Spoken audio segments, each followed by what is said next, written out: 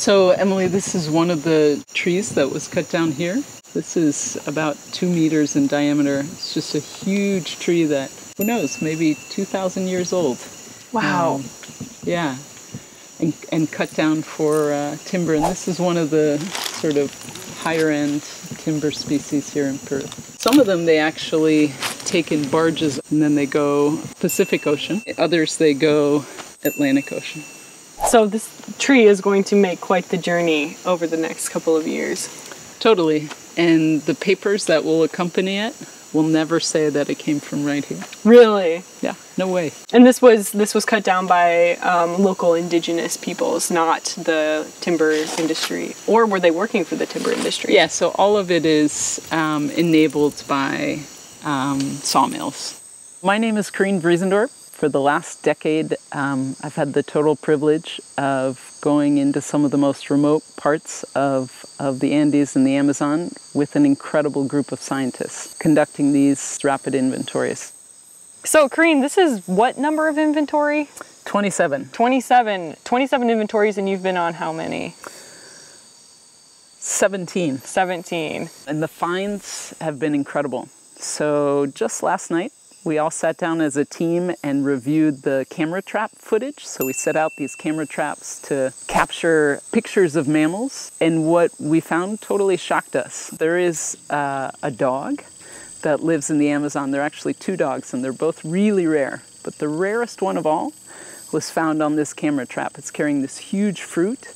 Um, it's an animal we know almost nothing about, and it occurs here in this forest. We're seeing a bird that was discovered in the 1830s and has been rarely seen since then, and it's calling to us every day at dusk. If you think about it, we're standing right here in a clearing that probably has 150 different species of plants Oh right here. Yeah. The sorts of birds that live here, insects, frogs, snakes, electric eels, all of those things. Nobody is going to be the expert on all of those things. Yeah. And so you have to piece it together with help from others. There's this team of people, and everybody has their own unique talents, and all of it together is doing something much bigger than each one of us.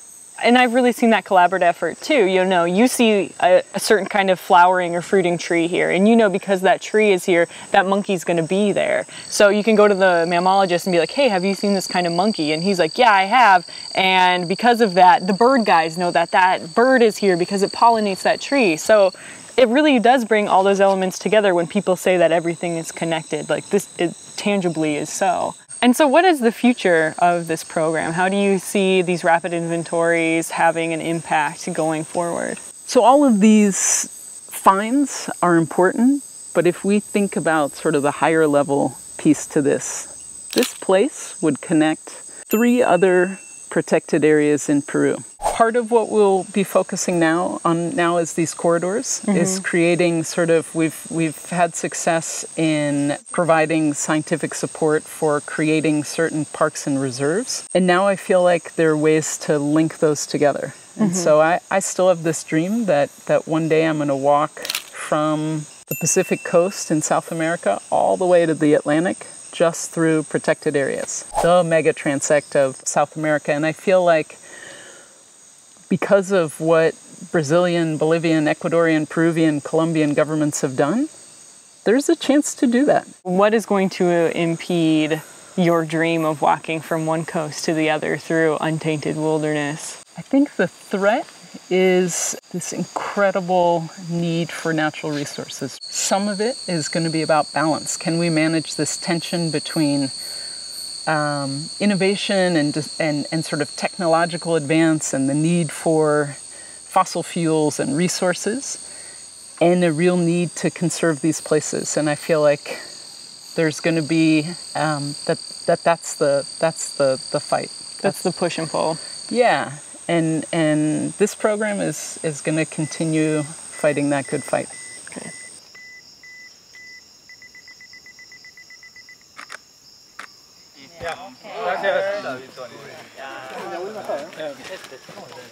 Con su polo de estreno. No me viste, señor Con Álvaro. su polo de estreno está. Ya. Esto, esto sí lo pueden. llevar, ya.